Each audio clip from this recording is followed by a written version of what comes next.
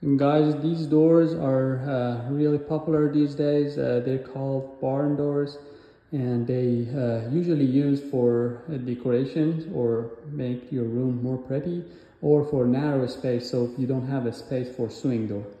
Uh, as you can see the hard hardware of the door are black and the door itself is white and make it uh, even more pretty.